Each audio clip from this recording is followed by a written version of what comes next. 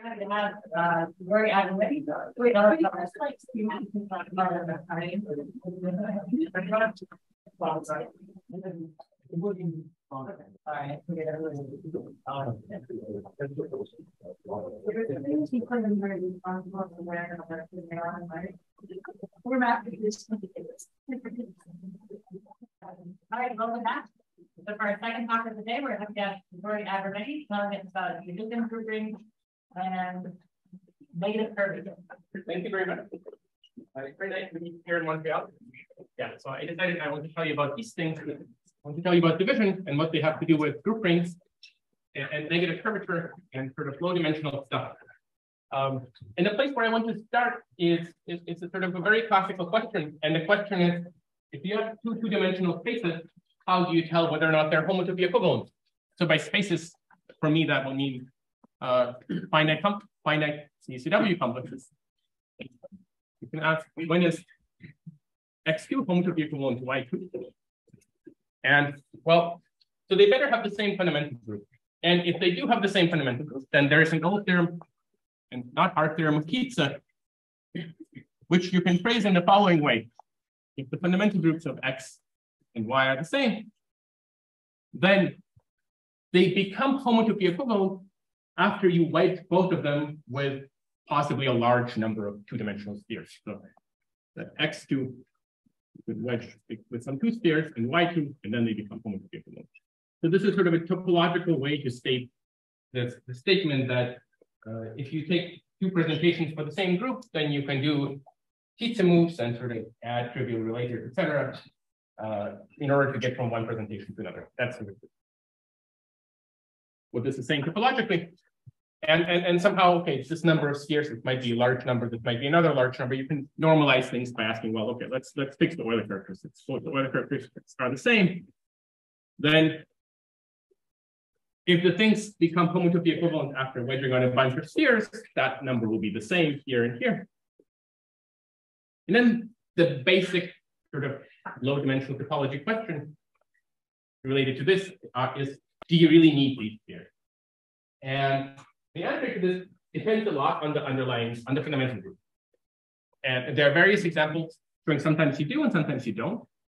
And I want to start by telling you that there is something there, by telling you about my favorite examples when you do need to do something.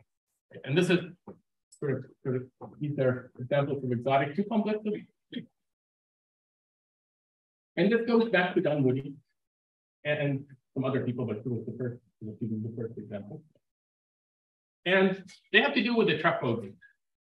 Right? So the, the fundamental group of the trefoil knot complement, the two generators, relation A squared equals B cubed.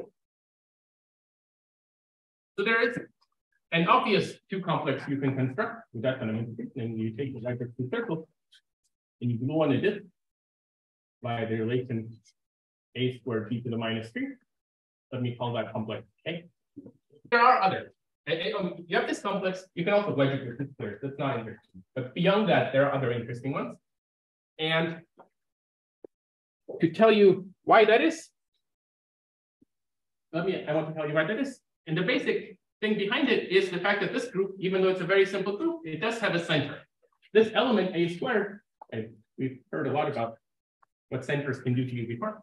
Uh, this element d a squared, it's a squared and it's b cubed. So it commutes with a and commutes with b. So it commutes with everything. And what that lets you do is, uh, what that implies is that you can write down other generating sets for the same group. Namely, let me rewrite this equation as uh, b is equal to a squared times b to the minus two. And I can also rewrite A. If I multiply this by A on the left, it says A cubed is AB cubed. So that lets me write A at A cubed times B to the minus three. Now, now you observe the following. If you put a Z in here and a Z in here, then because Z commutes with everything and the exponent here is two and here it's minus two, it cancels out, right? So that means B can also be written as ZA in terms of ZA and ZB, and similarly with A. So what that is doing is it's giving you a new different looking generating set for this group. Okay, so this is let me write it in the following way. It gives you a map projection from F2. That's the first generator to ZA and the second generator to ZB. Here, I mean, you could have taken powers of this element Z. You could have taken Z to some power I. This gives you a bunch of different generating sets. Let me call them phi i. And this is what lets you construct uh, different exotic two complexes. And so the first person to construct such two complexes was Ganguly. He had a sort of clever construction that gives you one thing. Uh, later, people had sort of came up with simpler ways to do it. And the, the, the construction I will tell you is actually due to Harlander and Jensen. And it goes like this. So first, you take the figure eight, cross with an interval, and then you glue two copies of this standard complex K to it. So here is one copy at the top and one copy at the bottom. Okay, copy at the bottom. And you glue it via one of these phi i's, the same phi i at the top and at the bottom. So for each i, it gives you a two complex, let me call that two complex AI. So it gives you an infinite family of two complexes. They all have the same Euler characteristic, clearly. Uh, if you look, if you think about their fundamental groups, well, the fundamental group is an amalgamated product of this with this along this. So it's the trefoil group amalgamated along F2. With the trefoil group, where both factors amalgamated along one of these phi i, you think about this, that is actually just one copy of the trefoil group. Reduction actually one of the factors it gives you an isomorphism. So all of these have the same fundamental group, but the second homotopy group turns out to be different. Well, at the module. So pi 2, you think about what pi 2 of this complex is. That's H2 of the universal cover. Right, the universal cover of this is the universal cover of this together with the universal cover of this glued along a cover, not the universal, but the trefoil cover of this thing in the middle. And if you write down what the Mayer-Vietoris sequence says, it will tell you that Okay, so this is there's H2, there are two copies of H2 of these pieces, the universal covers of those pieces.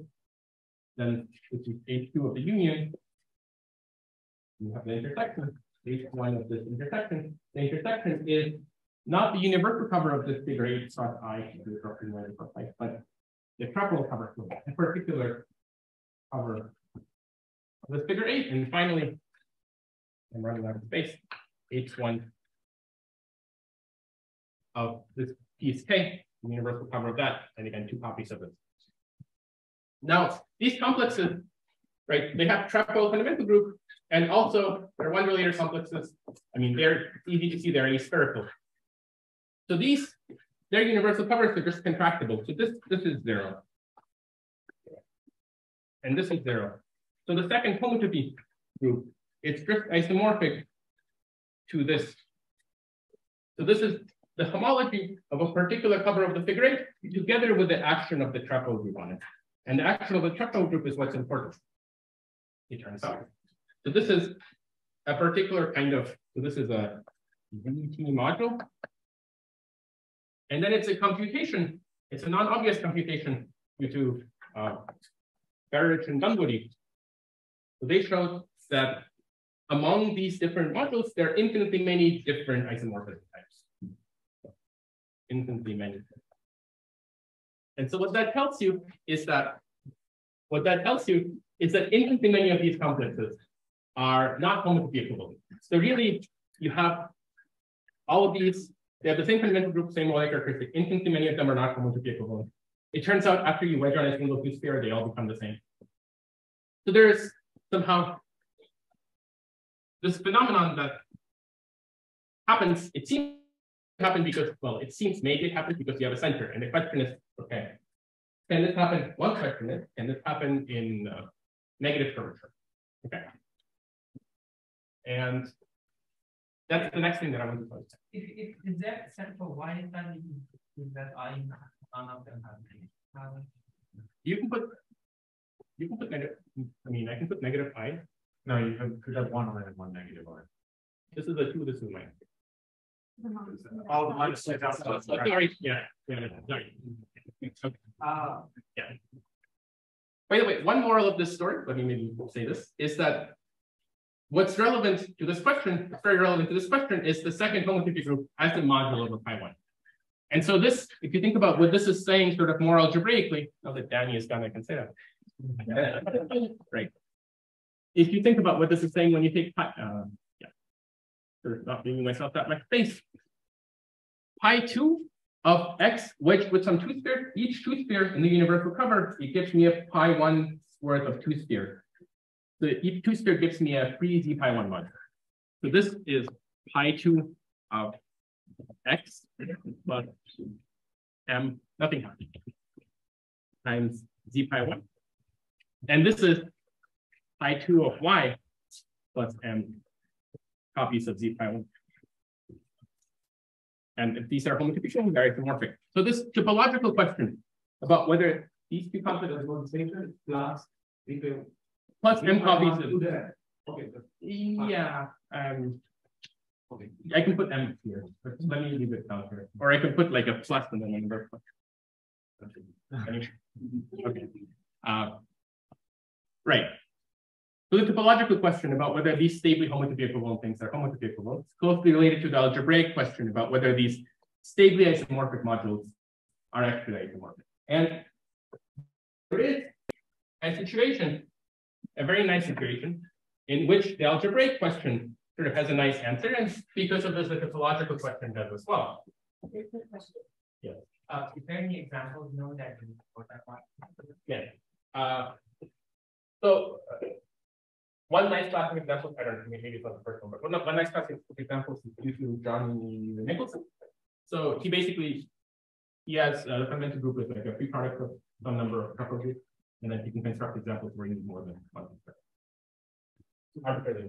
So the statement about stabilization over there is just stabilization of this pi, pi two as, as the, as the V pi one model. Um, this state, this statement was a statement about two complexes. And I'm saying there is another question, which is the algebraic question. I just said that they're closely related. I'm not saying they're the same. Sometimes they're the same, sometimes they're not. But I'm not claiming that. Um, okay. So here's the a situation in which you in which the algebraic question has a nice answer, and that is uh, when we have three fundamental groups. And the free group for me will always be F. And three there is. So then there's an algebraic term that's due to, well, it's mostly due to Cohn, maybe I could say with an assist from Bass. And it says that stably free DF modules are actually free. Okay. And I, I want to tell you something about this term. But before that, I want to say, like, what is the topological consequence of this algebraic theorem? And the topological consequence is that uh, if the fundamental group of your two complexes is free, then the two complexes standard. So then X2 is standard. So it's homotopy equivalent uh, to a wedge of S1s and S2s. It's sort of the most obvious type of complex with three fundamental groups that you look up. And how does the proof of this go? So in what sense is it a corollary? Well, so the first thing is to observe what does Tietze's theorem tell you? And what it tells you is that, well, you have this two complex with three fundamental groups. There's also the obvious two complex with three fundamental group, which is like a wedge of circles. That doesn't have any pi two. So for that one, you just have a free module. So that tells you that this other complex, your complex from the gutter, I guess, is has stably free pi two. So pi two of x plus some number of copies of the free module.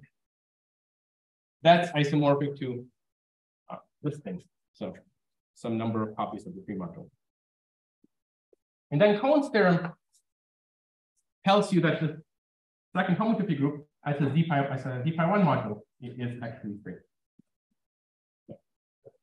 Tells you that. And once you have that, you can actually build your homotopy equivalence. So therefore, there exists a map. I mean, you can literally build a map from a wedge of circles and a wedge of two spheres to, your two complex, and the map is just Well, send the standard sort of send the basis of generators, send the S1s to a basis of generators, and the S2s to the three bases for pi 2. That will give you a map. There n minus m copies of F2. And that map will be a pi 1 isomorphism, pi 2 isomorphism, and that's therefore homotopy. So that's the topological consequence. Okay.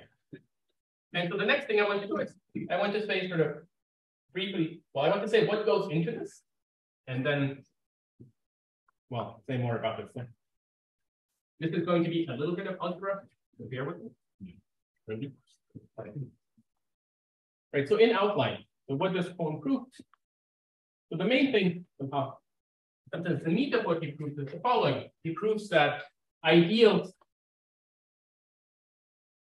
in the group ring and, and somehow algebraically it's easier to do things with coefficients in the field. So uh, ideals in QF and also well, the Musky version FTF are, are free. That's sort of in some sense the meat. And then, okay, well, first there's a there's essentially a formal consequence that submodule. So, so, so an ideal is a submodule of just QF. Submodules of several copies of this, submodules of three modules. So some number of copies of QF. And similarly, a number of copies of this FD are So this is sort of a formal consequence, but for the topological kind of applications, you care about grouping z coefficients instead of field coefficients. And so you need to put together the FP and the rational stuff into a z statement. And this is why I said there's an this is where comes in. So there's something that I like to I like to call Bass local to global method. And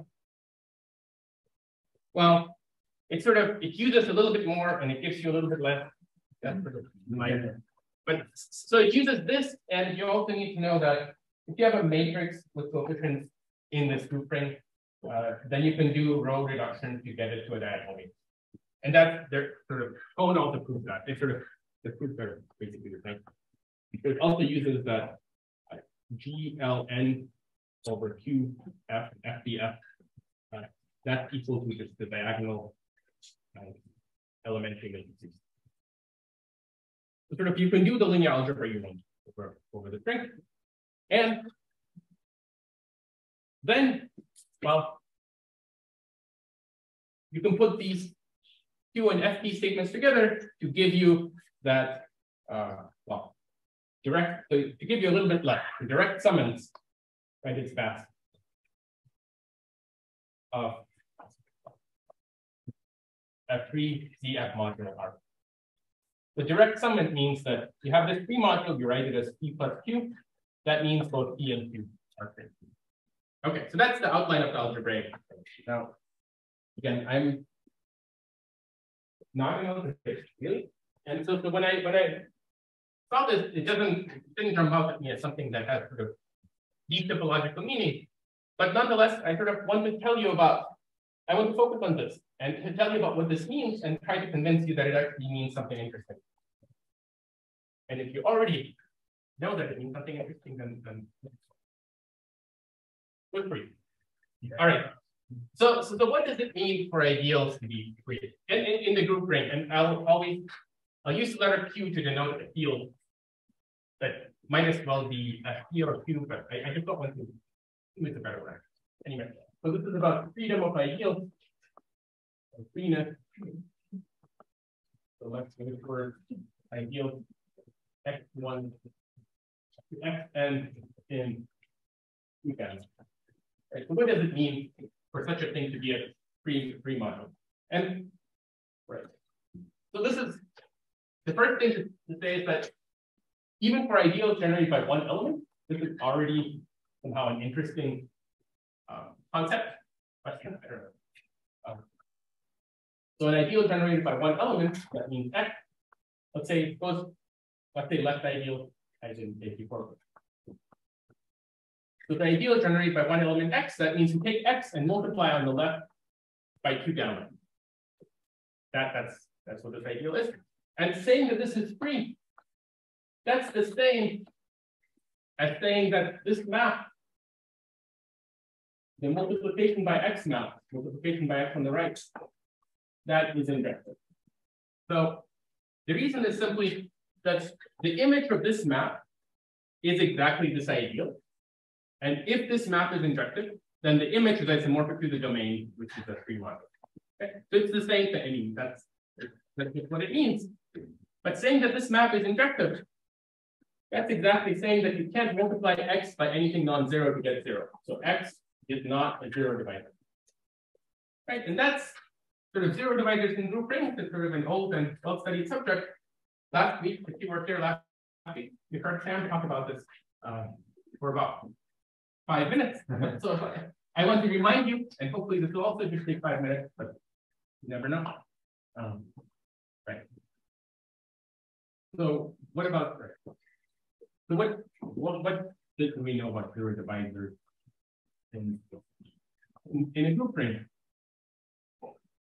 Well, the, the first thing to know, the, the basic example to think about is a finite cyclic group, right? A group, and then their element has some order. Then you have sort of the geometric expansion, one minus b, geometric, yeah, geometric expansion. Or c to the n minus one. Right, that is one minus g to the n, which is zero in, in, in your group ring.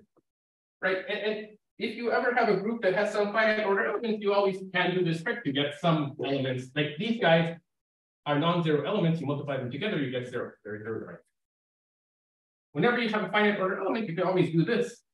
And then there's a conjecture that that's the only thing, well, that if you have zero divisors, you always must have some portion. So you always, if you have zero divisors, you always must have things like this. And, or expressed more positively, gamma is torsion free, then the group ring is nice. Well, then Q gamma. I think the history of this conductor is kind of amusing. Somewhat amusing, maybe. Uh, so this is, I think it's usually called the, often, sometimes called the Kaplansky conjecture. I think Kaplansky asked this in 1956. Uh, recently, I found out that Fox, in like, the middle of a paragraph in his differential, free differential calculus paper, uh, asked this, that this seems like a reasonable thing to conduct from a group. Uh, in 1953, and then Higman in his thesis in 1940, well, in his uh, in his unpublished thesis, he conjectures this. In his published paper, the conjecture is not there, but he proves this for some groups. Mm -hmm. uh, so that's. Uh, let me maybe say a, a few words, right? So it's it's sometimes. I mean, we know that it's sometimes what is true for and Fox, right? Fox was doing his free differential calculus. He then used his chain rule to show this for free groups. That's why he mentioned it, I guess. The true for gamma free. Maybe we should also mention that he didn't have that time. Uh, he didn't have the arXiv. That's true. Yeah. Oh, you were saying why didn't he? Yeah, I mean, yeah, that way it sounds like. I think the unpublished thesis is still hard to find. Anyway, that's that. Yeah. And uh, but it's definitely true that he didn't have the arXiv. Uh, Higman, right? So what did Higman do? Higman proved this for for locally indicable groups, and right, I, I finally generated subgroup map onto this. Right, so lots of groups that are locally indicable in low-dimensional topology somehow he proved it for a large class of groups, right? And and and and yeah, so that's I mean, that's the conjecture. It's known for some classes of groups. I'll try to write on here. Maybe like the biggest topics, useful to mention that if we can embed become into the stupid original. I'm not going to mention people at all. yeah, yeah, that's true, right? I mean, if you can embed it in the field, then definitely on the third. That's true. And so, so if I a vector whatever that is, then well, you know what that is. Um, then this is true. Uh, so I want to tell you something else that's related to negative curvature. So somehow, right? You haven't heard about this yet. Uh, you've heard about this, but why is negative curvature? Um, so there's this really nice result that goes on, and I'll try to write on here. Will people be able to speak here or at all? Yes. Okay, right, so there's really. You can't complain that they're from Okay. um, So there's a nice result of Delzant from nineteen ninety-seven, which sort of inspired. I mean, I, I think it's great. Um, and it's the following, and it's not hard to prove. it- He was doing stuff in the setting of delta hyperbolic groups, let me just say for hyperbolic space. If you have a group and it acts on hyperbolic space, with large displacement, so, and large, like there is a specific large that's good enough, so with displacement greater than forty. Somehow that's good enough. Um, then this is true. So this means that, so I mean. Every non-trivial element moves every point by at least forty. Or forty is. With the standard hyperbolic. Forty is eight delta. Then I have to tell you what delta is. I mean, it's not eight delta, it's more than eight delta. Okay, um, right, but the point is, the point of Delzant's. One way to think of Delzant's theorem is it's saying that. If you have an improved version of torsion free, not only like you don't have any fixed points, but you actually move stuff by quite a bit, it's like a quantitative version of torsion free, then. Then you have this nodal method. And let me get uh, okay, I'll, I'll try to draw it. Let me sketch it because I think it's very nice and it's sort of. I, I really like this argument. So the, suppose there are limits. Suppose a times x is equal to zero. And the idea is now to, to think of group ring elements, like a group ring element. A group ring element is a finite sum, some number of coefficients, some coefficients and group elements gamma in, in, in your group. It's a finite sum like this. And the idea is to think of this as a finite set of points in hyperbolic space. So in other words, maybe think of it, to, let me use capital X to denote the support. So this is the union. So, so you pick some base point and you fit it with all the elements where this coefficient is non-zero. Right, so this is a finite set of points. So maybe like this is, this is a base point, and then there's like gamma times the base point, and v times the base point. This is a finite set of points in, in, in hyperbolic in hyperbolic space. And sort of for psychological reasons, it's useful to draw the ball and take the center and draw something like this. It's a finite set of points, but you know, think of it as something that looks more like a tripod. Okay, and now how, how is it supposed to be helpful? Well, what does it mean if you have this, this zero divisor, ax equals zero? It means that if you expand up, so A itself is a group ring element. If you expand this out, it means that a, a bunch, a sum of a bunch of translates of x is equal to zero. The sum, some coefficients is depending on you agree? And bx, these are translates of x, and that that sum is equal to zero. So it means there's some cancellation going on between these translates of x. This means there's cancellation. That's the important thing. And then you, you draw a picture of what this is saying. That means, so I, am supposed to draw some translates of x. Maybe this One, another, third. To draw these translates, and now these are sitting in hyperbolic space. And now draw a ball, the smallest ball containing all of them. Think this is the smallest ball containing all. And take one of the points on the boundary of this ball. Maybe this, this point. So when you say all of them, all of them what? All of them with them. So there are finitely many b such as a3 is non-zero. Mm -hmm. Look like all the translates bx of that sort. Okay. Those are the finitely many things that you're supposed to draw. So this is maybe this one is called x, this one is called uh, one x, two x. Okay, but there's a particular point here. Yeah. Let me draw it over here so that this is x. There's a particular point here on the boundary of this ball. You call it P. Now, this point needs to be canceled with something for that sum to be zero. There needs to be something else that also contains this point. So there's a translate. Um, maybe that translate is called gx that also contains this point. And then you think about what does that give you? Well, this point p, it's on x. So gp is somewhere on gx. So gp is maybe somewhere over here. I'll, I'll, I'll sort of draw a less crowded picture in a moment. And similarly, P is on GX. So some translate, so, so, so G inverse P is somewhere in it. So there are these three points. Let, let me let me draw this again because they're relevant stuff. Can you draw it from the black? Um, what about here? Uh, for me, it's fine, but I said I want to. Ah, okay. There's a point. There's there's another 12. There's a point P here. There's VP over here and V inverse P up here. Look at the same line. And now, okay. Now this segment from G inverse P to P gets sent to this, segment from P to GP. So the midpoint of this segment gets sent to the midpoint of this segment. And finally, since we're in hyperbolic space, when you start on the boundary of a ball and go along these segments, less than halfway, these segments are inside of this ball. If you go less than halfway, they don't start spreading out. They sort of fellow travel for at least half their length. So when you get to here, you haven't moved apart very far. And that's, there's a uniform constant of how far you haven't moved apart. That constant is less than 40. That's sort of fellow travel. What if, what if those two segments happen to magically be along the axis of G, right? Then they don't travel at all.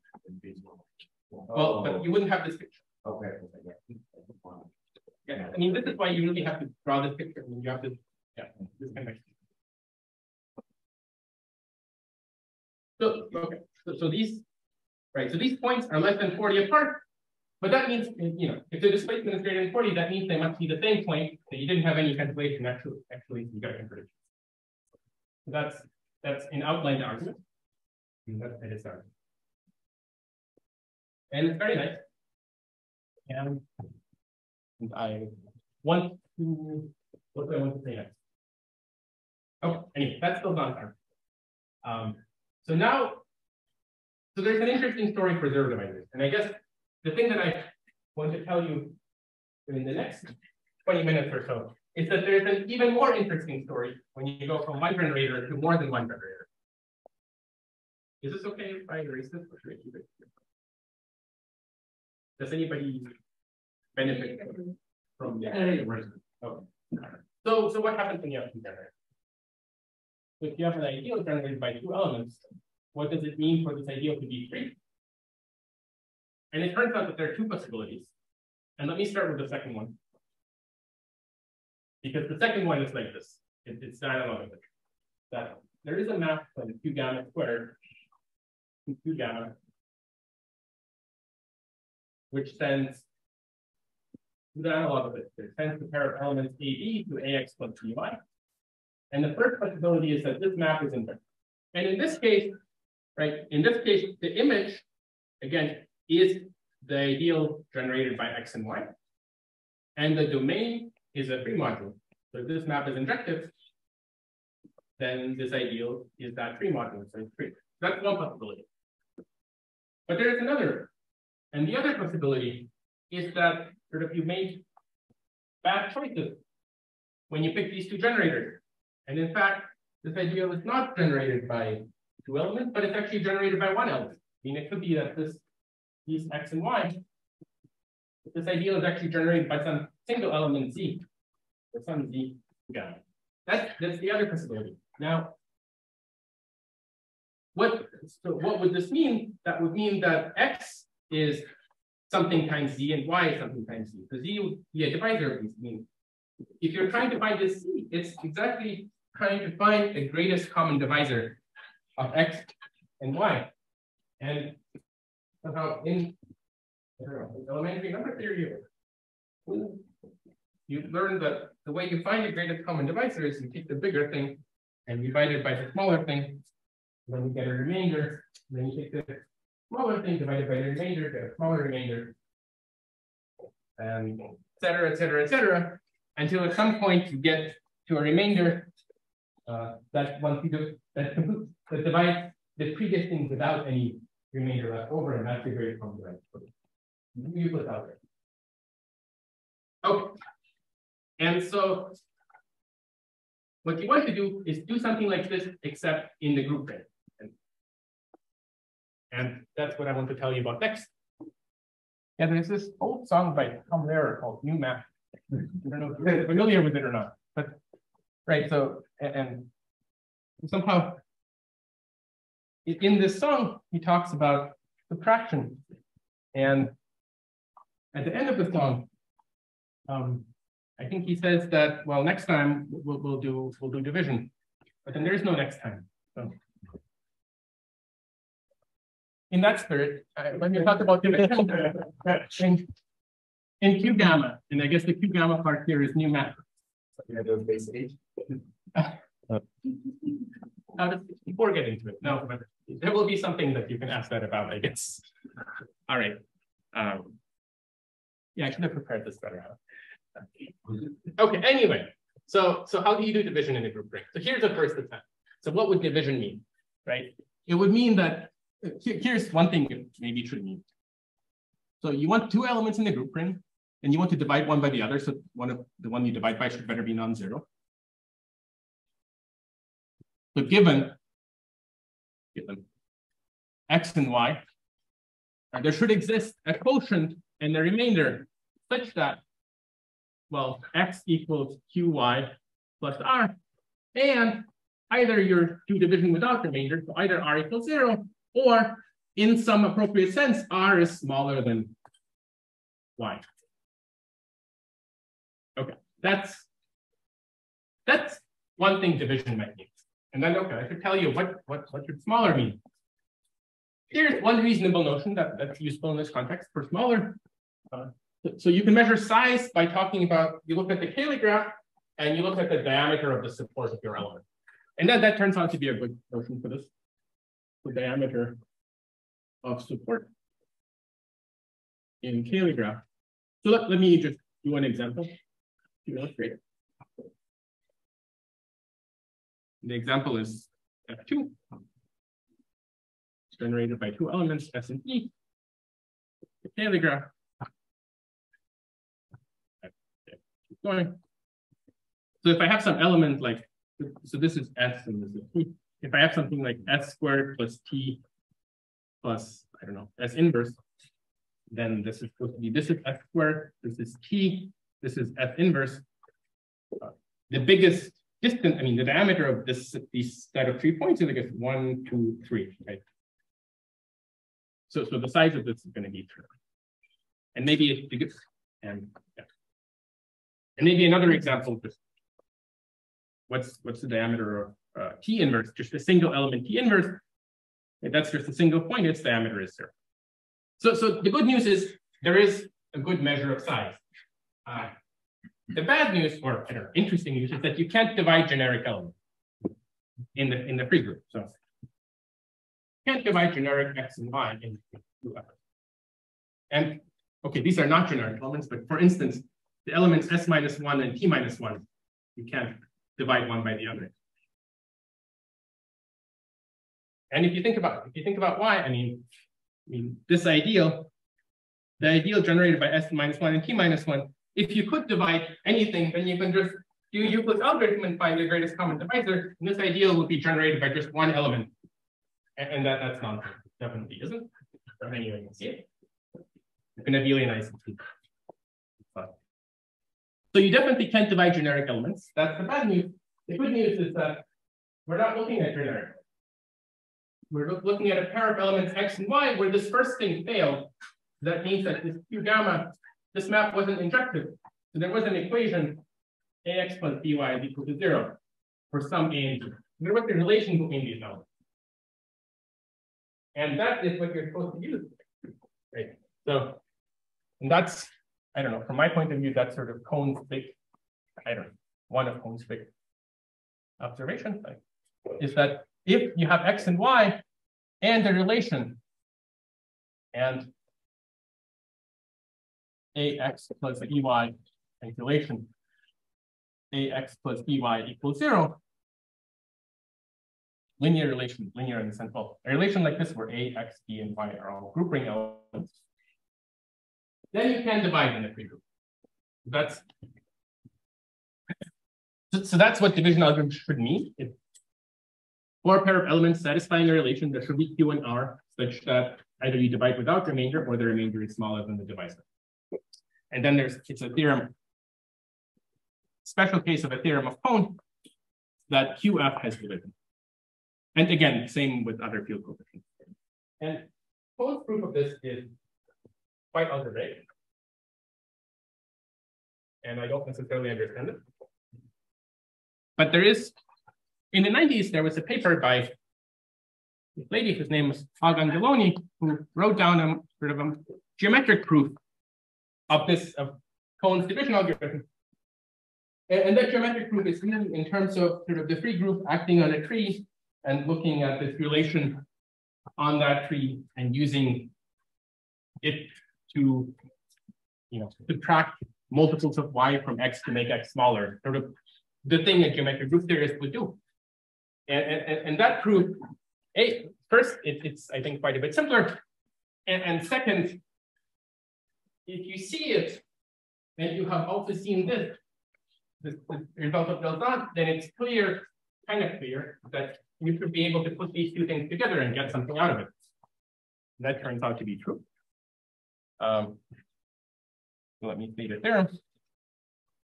So if you have a group in acts on hyperbolic space with large displacement, and you sort of need more than in Delzant's result, you need displacement at least two, 2000, then um, the group ring has a different algorithm. And, and, just to give you an idea of what sort of groups this applies to. Okay. So for example, I mean, you take a surface group, so the fundamental group of a, of a surface, there's some dots here, of genus G, then if G is greater than e to the 1 million, then it's a result of Buser that this group acts on hyperbolic space with displacement more than 2000. And so, so then the theorem applies. If you use sort of a, a more serious result of Buser and Sarnak, then you can improve to e to the 1000 for an infinite collection of G's, possibly not all. So, okay. So, all right. So I have about 10 minutes. There are several things. Maybe let me. Okay, there are several things I could do. One thing I want to do is I want to tell you about sort of what are the applications, so what are applications of this kind of division algorithm? So it, yes, do you have a sense of how good that is? Like, can you make it? Are there counterexamples to having a division algorithm for much smaller displacement or? um, so for two elements acting on hyperbolic space, uh, there are examples, but I don't know what their displacement is. I mean, so the, the examples are uh, the examples that I, that I know. I think, um, so this is a non-example. Some of you maybe know what the displacement is in this case. And this is essentially the first So what you do is, right, you take the figure eight knot complement. That's what I'm trying to write down. It's something like one, one, one. Uh, right, this, so this is a hyperbolic manifold, and it's a priori, so, so you can reduce this, so this is a two relator. Uh, let me see if I'm saying this correctly. Two generators, one relator. Right, two generators, one relator, and it's not, um, and, and it's not, there's a reason why division couldn't have worked this. Let me say it. Yeah, I have to think through. Yeah, um, so whatever the, oh, right, and, and then, so you do this, you do Dehn filling to cap off the cuts. Whatever the injectivity radius of that is, is, you know, you need more than that. So, but that's for you. You're saying that Dane going to this fail to have the division? Yes, yes, that's what I'm trying to say. But. Um, okay. So then this is not a virtual property then? It's it's very much not a virtual property. It's uh it's something like you sometimes have it once you like if you unwrap things far enough, then you sometimes have it. So let me say, okay, right. So here I was focusing on two generators. Maybe this is a like for the free group, I mean, after two generators, you can do three generators, and generators, as many as you want. Yeah. Okay. Um, for other groups, this fails at some point. It, free groups are the only groups for which ideals generated by any number of elements are. Uh, that's essentially it. That's essentially follows from the of Hollow. There's a special ideal called the augmentation ideal. And if that's free, then uh, then you group as multiple into one. So let me state a theorem.